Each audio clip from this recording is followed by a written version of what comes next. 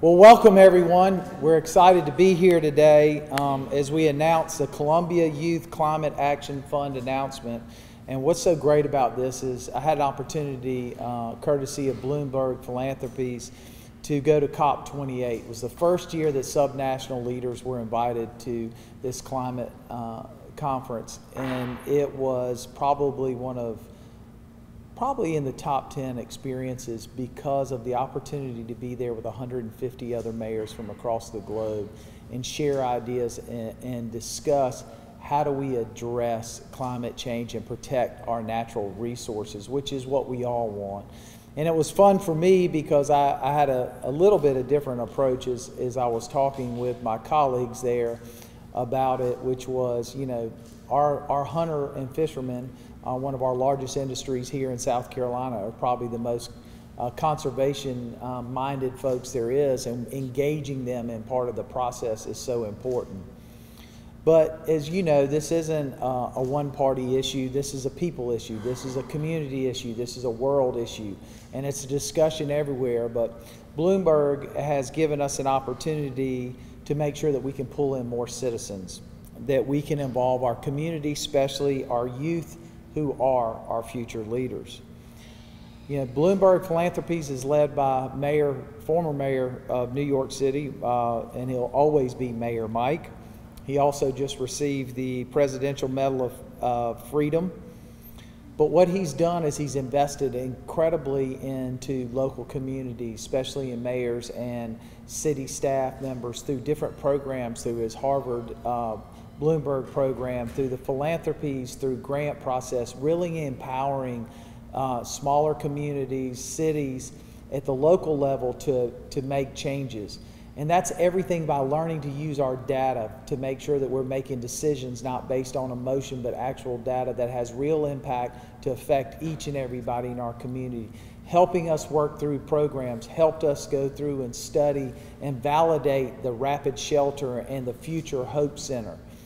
Mike Bloomberg has invested probably more than any other individual in, in the United States into really forwarding, making change for the betterment of our community. I don't care if it's arts, cultural, business, uh, everything from how we procure products to how we, we move through and invest our money into cities through infrastructure, how we leverage grants.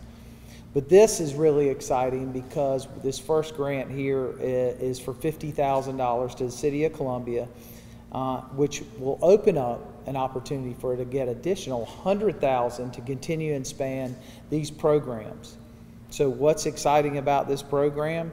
We're going to distribute micro grants to the youth between 15 and 24 for sustainability projects that line up with our goals that our CPAC committee has helped us develop which uh, I have to give a shout out to the CPAC members behind me because when I was able to share with folks across not only the United States but in, in Europe and across the country that we're a gold certified city, LEED certified city, that we have an action plan. They were extremely impressed because a lot of com communities are still trying to figure out how to put something together. And I said, look, you just get your community involved, you'll get the answers, and that's what we have here. The funds can be used for research, surveys, awareness campaigns, projects, workshops, partnerships, and a lot more. So we're really excited about this opportunity and where it can lead. So later today, the City of Columbia Youth Climate Action Fund applications will open. You can access the application on the city's website under strategic initiatives where you can also find more information. The application is short, sweet, because we want the future leaders to step up the challenge and without a bunch of barriers to get this money and, and move forward. Uh, our, our action, uh, climate protection action campaign group led by sustainability facilitator Mary Pat Baldauf, who's right here behind us, um, will review applications, determine the size of the micro grants for each project that's eligible. And these grants will range from 1500 to 5000 depending on the scope and the size. Schools, organizations, groups with tax status to accept grant funds are encouraged to apply. If you're a group, a youth group with, uh, without account, uh, accounting capabilities, we also ask you to apply your ID and indicate you may have a sponsor. We're here to help. This team's here to help. And it's so exciting that we have this opportunity to do this. I got to thank CPAC for encouraging us to continue to work to make Columbia not only sustainable but steadfast.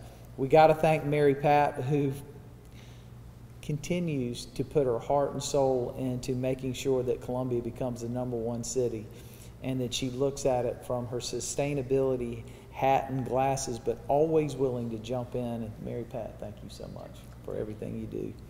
Columbia, is, uh, as we said, is the only gold LEED certified city in the state South, Carolina. For us, that is not where we want to be. We want to be platinum. So we're going to continue to do everything to get there. Uh, we're going to continue to lead efforts in our uh, community to preserve all our natural assets. As you know, we are filled with them, and we want to continue to do that. And the only way to protect them is to work together to do that. So spread the word, get people to sign up. We look forward to it, and I'm happy to answer any questions. Are there, are you currently doing these type of projects, or are there any organizations who are currently doing these type of sustainability projects who could benefit from this fund? Oh, I, I think there's there's some uh, youth groups, especially uh, at Benedict and University of South Carolina, that could benefit this. We also have gotten a lot of interest from from our high school folks who are really interested in building up a program and, and helping the, the schools build a strategic plan. Why is that important? Right now, because of the Inflation Reduction Act, there's a, a, a, segment in there called direct pay, and that allows schools to take advantage of solar and other opportunities and get what they call uh, it would have been a tax credit if you were uh, in business, but you would get a cash grant back. So that allows them to do more projects because they're getting part of that funding back. So timing right now for cities, nonprofits, universities, and others is incredible time that we could take advantage of this. And so this is part of the push too, is leveraging those resources that are out there.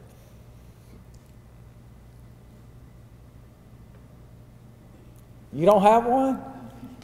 What, um, like what, what projects in particular would you like to see come out of this? Well, I think having a strategic plan, you know, I mean, when you look across with the resources that are available for us today, at, at, at every level, I mean, you know, talk about water quality, talk about, um, you know, uh, renewable energy as we're making our step there, re- taking advantage of, of of weatherization, all types, but also in these programs allows to create apprenticeships. So we're teaching the next group, which could open up job opportunities as well. So when you look at all of it combined, it's like the perfect storm, and this is a way to jumpstart that, especially at the youth level. How would this benefit the youth going forward with these projects? Oh, I mean, the, the fact that they have an opportunity to make a difference, which gives them, you know, like anything, gives them direction and a pathway moving forward to take advantage of future jobs. Um, it's not going to hurt uh, a resume. It's certainly not going to hurt their uh, college applications if they're not in college. Those in college, today, sustainability is a main part of economic development. Businesses are looking at communities they're investing. They're looking to see who's there to take. And so when they're making a decision about where they're going to move, open up, if it's a back office, a cybersecurity, or a new location, a subsidiary, they're looking at communities that are committed. And that's why the gold LEED certified is so important for us. But it's also, it gives a pathway. So to me, that gives that the youth a jump start as they go into the business world.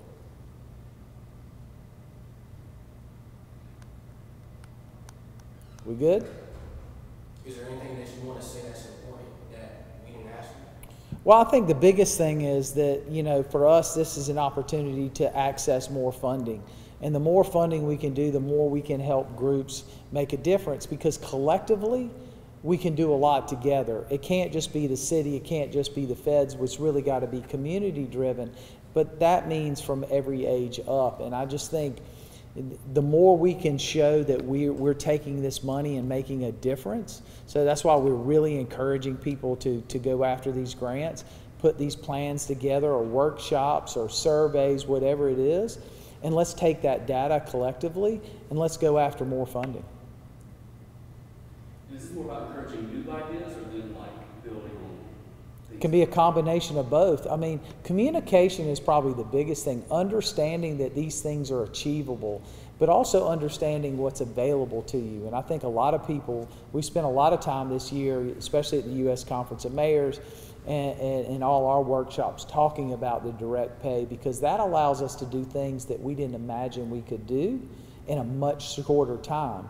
I mean, that allows us to go after solar, uh, anaerobic digestion with food recycling, allows us to work on our hydro plant. I mean, to reconstitute our hydro plant and others, that's eight to 10 megawatts of power, clean power that we could bat at. Our goal is to try to get to 100% renewable. That's a stretch now, especially in a hurricane prone community, but we got to keep trying to get there. And so I think the more ideas, the more plans, the more people that are engaged, the better off we are. So it's safe to say if they come up with a, a new cool initiative, the city would be willing to use it or. We'll fly it up on the flagpole. I mean, we're excited about those type of things. But it also takes, you know, that initiative for folks to, to realize, and I think sometimes a little grant helps them get there.